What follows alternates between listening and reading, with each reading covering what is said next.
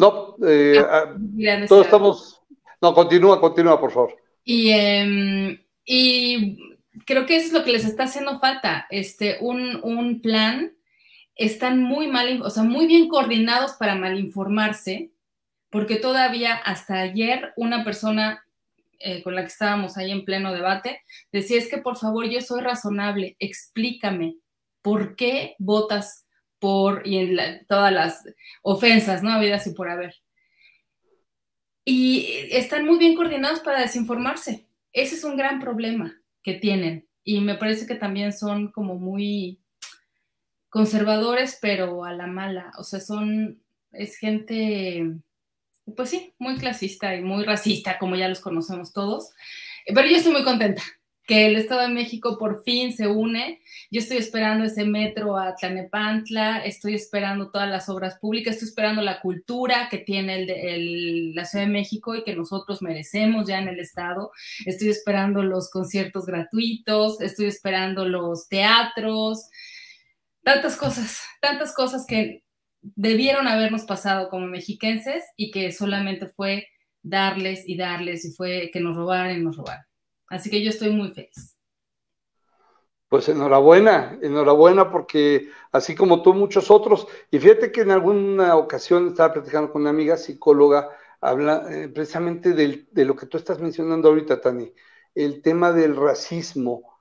¿Cómo poder hacer que una persona racista eh, pueda, em, pueda dejar de serlo, pueda entender que, que el racismo es una situación que no es correcta desde ningún punto de vista, que genera eh, odios, que genera incluso un malestar físico a raíz de todo eso, porque es un proceso de odio, es un proceso de rechazo, es un proceso negativo hacia otros seres humanos.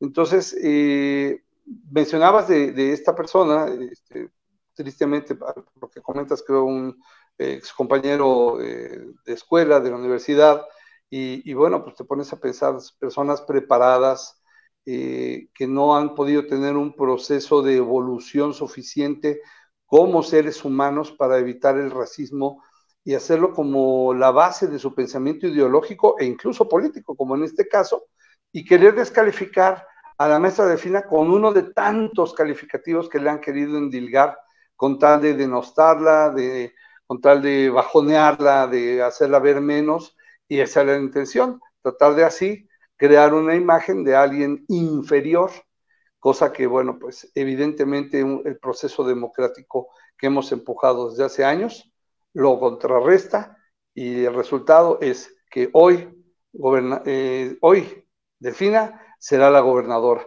Y bueno, pues es parte de una evolución que espero que a lo mejor tu amigo ya no, tu conocido, pero tal vez sus hijos ya no, ya no crezcan con ese racismo y, este, y bueno, pues puedan entender que eh, como mexicanos debemos de vernos únicamente como uno solo, ¿no? Sin problemas de colores de piel, de, de regionalismo, ni nada de eso.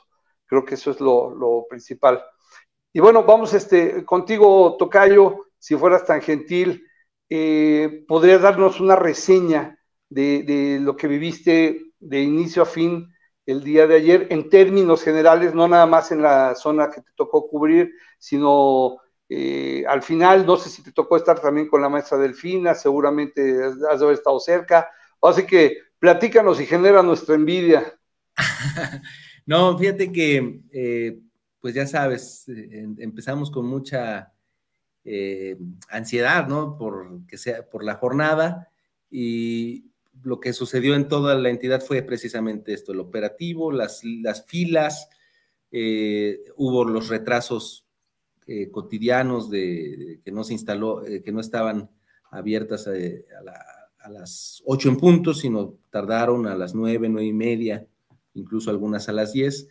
Y, pero la, pero este, al mediodía ya estaba esto resuelto, es decir, en un par de horas los, los las personas o las estructuras, la movilización se había ya resuelto. El pase de lista, nosotros fue un lugar común estar viendo a las operadoras coordinadoras del programa este que se llama eh, la tarjeta rosa, pues que ya lo habían este, utilizado. Entonces, yo creo que es muy eh, importante destacar esto, que eh, pese a la, el ejercicio de la amenaza de quitarles ese apoyo que ellos llaman el salario rosa, la gente no, no, no, no les respondió que era nuestro principal temor, ¿no? Que este, esta coacción les, les tuviera efecto. Es decir, ellos llevaron votos que eran para ellos, pero en realidad votaron por la maestra Delfina. Eso, te habla de pues esta eh, madurez o de, que se decía, pues vota por lo que te, lo, que te dan y hazlo libre, ¿no? Y, así fue, la, sobre todo si tú ves la votación del, PAN, se cayó el PAN. Yo creo que eso es lo que hay que apreciar. Hay gente panista decente que no se atrevió a votar por este grupo, porque como tú lo dijiste, son dos mafias, ¿no? Las que quedan prácticamente en el PRI, lo que es el grupo Atlacomulco y los Moreira. Y ahorita los Moreira son los, los, los, los, que quedaron, los que subsistieron a, pues a este rechazo total a la forma del PRI gobierno. Y eh, el voto libre que se manifestó ya a partir de las 2 de la tarde a las 6 es el que hizo la, diferencia. Es decir, mm, eh, creo que vale la pena destacar que por, fortuna no hubo violencia. Yo tuve un conato, un riesgo, porque estaba, era una esquina, no recuerdo cómo, cómo se llama la colonia, pero estaba en una esquina el punto de venta de droga, estaban los dealers, en otro punto estaba el movilizador del, del Va por México, y cuando ven que nosotros llegamos, se nota su coordinación, la relación que tenían, e inmediatamente después llega la policía municipal. Entonces, este, yo creo que si nosotros hubiéramos querido hacer eh, alguna incidencia o alguna expresión, pasaba alguna tragedia ahí, seguramente, porque estaban en, el punto de venta, o sea, te estoy relatando esta, situación porque nos dice mucho de lo que vive nuestro país actualmente. Eh, esta, relación, este contubernio que hay entre el poder político, la delincuencia organizada y el uso de la fuerza. Entonces, nosotros tuvimos mucha responsabilidad, dijimos, ¿para qué generamos aquí una situación que quién sabe si alcancemos a contarla además, ¿no? Pero, este, por fortuna, le apelamos, nosotros le dijimos a las compañeras que había de Morena, no se acerquen a la casilla, mejor vayan con las vecinas a recordarles que está a tres horas de cerrar la casilla y no nos paremos más por aquí, porque sí se vivió en algunos puntos, no todos, hubo puntos muy tranquilos. La, constante yo creo que fue, fue una jornada limpia, fue una jornada que no pasó a mayores, pero también en mucho por nuestra responsabilidad. Eh, fuimos, este, así como yo estuve en Naucalpan, muchos de nosotros, militantes, dirigentes, legisladores, estuvieron en distintas en distintos distritos con esta convicción de que era el resultado de proteger la voluntad del pueblo mexiquense y no generar caer en provocaciones.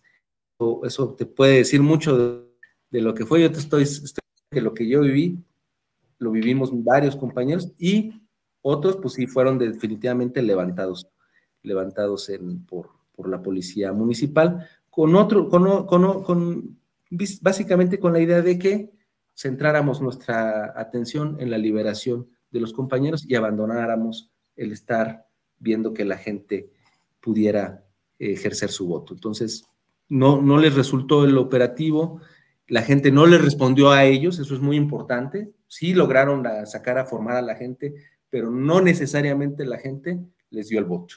Y eso habla de una este, madurez, de una liberación que la gente también se las ingenió, así como nosotros nos las ingeniamos para no caer en la provocación, la misma gente se las ingenió para eh, ejercer su, convicción, su voto de manera libre. Entonces, esa es la gran lección del Estado de México. ¿Qué nos dice Manuel, Tania? Pues no solo que cayó el último gran bastión del PRI, sino que se cae la alianza. O sea, ¿de, qué le va a servir el PRI al PAN si ya vio el PAN que se le cae su votación cuando va con el PRI? O sea, lo que nos dice es que el resultado exitoso que ellos, exitoso entre comillas, obtuvieron en 2021, no obedece a que era la gran fórmula antimorena o antiobradorista que decía Claudio X González, o Claudio X González, obedece a este obedeció a la pandemia y que la pandemia le pegó a las clases más este, pobres que no, que no pudieron salir a votar en esa elección intermedia. Entonces, no fue, se cae el mito de que juntos se potenciaban. No, el PRD no existe. El PRD no alcanza ni el registro. El PRI está eh, el voto nacionalista decente que le pudiera haber quedado al, PRI, este, tampoco se siente representado por el PAN y viceversa. Los panistas, que puede haber gente decente, este, no votan por ellos. Entonces se, confirmó que es una alianza inescrupulosa, pragmática, sin un cimiento eh, ciudadano, popular. Manuel, yo creo que es una gran noticia porque nos habla de que la gran esperanza que tenían estos partidos era conquistar y llegar a la Ciudad de México. Yo creo que eso es, se esfuma. Ellos sabían que el 2024 lo tenían perdido, pero tenían su expectativa puesta en la Ciudad de México y yo creo que se cayó ese, esa esperanza para, la, para estos partidos. Oye, pero para nosotros está muy claro, pero a mí se me hace que para Claudia X González no tanto, porque sigue tuiteando con que la unidad es la unidad nosotros lo tenemos con radiografía y ellos siguen empecinados en apelar a que todos juntos vamos a poder.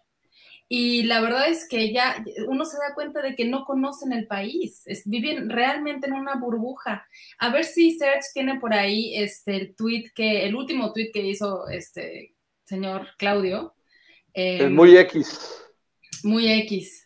Mira nada más, la coalición ganó Coahuila por 36 puntos, ¿no? Con una participación de 57, que sí fue bastante alta, pero en Edomex este, se pierde por 9 y una participación del 50%. Vamos a redondear. La pregunta clave, ¿por qué tan baja participación en Estado de México?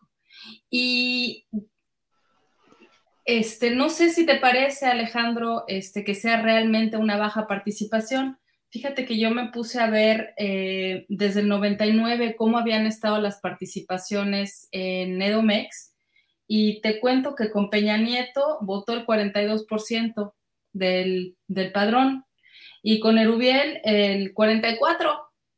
Y el último de Alfredo del Mazo, que fue justamente con Delfina, eh, pues sí, llega, sí superó la marca del 50, llegó hasta el 53 eh, pero ahorita se queda en el 50, ¿no? Entonces, ¿de qué habla Claudio X González? Si cada vez estamos más participativos, participativos y más este, politizados. Excelente dato. Es un, es por eso que es, tan X el amigo. Es que están diciendo, sus, sus, especialistas lo están asesorando mal. Yo recuerdo que vi un Twitter de este Luis Carlos Ugalde, me parece, donde decían que a más participación, ellos les favorecía la participación. Yo no sé de dónde sacan eso, si ellos solo tienen sus votos duros, o sea, realmente no está la gente eh, expectante o deseosa de ir a ayudar, apoyarlos, ¿no? Su programa político no tiene base social y yo creo que lo deben de, o no lo tienen claro. Entonces ellos decían, es que en Coahuila tuvimos el éxito porque hubo el 60% de participación, mientras en el Estado solo votaron el 53%, entonces nos faltó que la gente saliera a votar. Entonces, yo estoy seguro que no, que es al revés.